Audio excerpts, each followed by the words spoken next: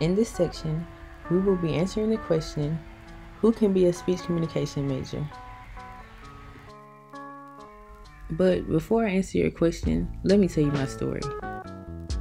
Hi everybody, my name is Crystal Scott. I'm a senior speech communication major here at Jackson State University.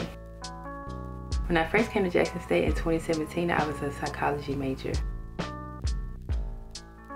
Around the end of my sophomore year, I began to feel really lost and unfulfilled when it came to school. That same semester, I was enrolled in interpersonal communication as an elective.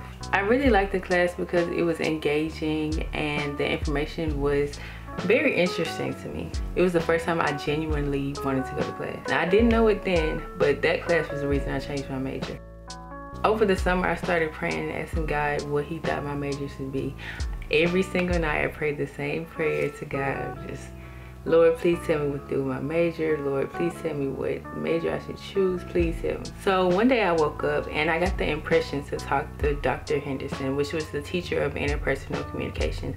But he's also the department chair for speech and dramatic art. But I just kept ignoring it because I didn't think it was from God. I thought it was just a random thought. So when I got back to campus in the fall, I kept getting the feeling to talk to Dr. Henderson.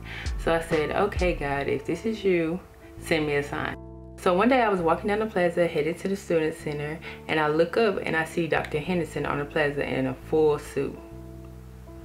To this day I know that was God because I've never seen him again on the plaza ever. So I went to his office and I told him how I was feeling about psychology and how I didn't feel fulfilled and I feel like I was wasting my time and he told me that I should be a speech comm major. Now when I heard the word speech I was like uh, no not really because I'm known for being kind of the quiet or the shy person so I didn't think that speech comm would be for me at all. But he showed me a list of all the jobs that you could have as a speech comm major and while I was reading the list I felt immediate peace come over me from the top of my head to the soles of my feet. And I just knew that God was smiling down on me and saying, if you would listen to me in the first place, you wouldn't even be stressing. This major is for you. Suddenly, I was no longer lost, aimlessly taking classes. I found my home in the Department of Speech and Dramatic Art as a speech comm major. So to answer your question, anybody can be a speech comm major who's willing to work on their speech humans are social by nature so we all need to work on communicating with each other more effectively. So don't let the word speech shy you away from it because we study communication. It's not just all speaking it's not all writing it's all forms of communication media you know anything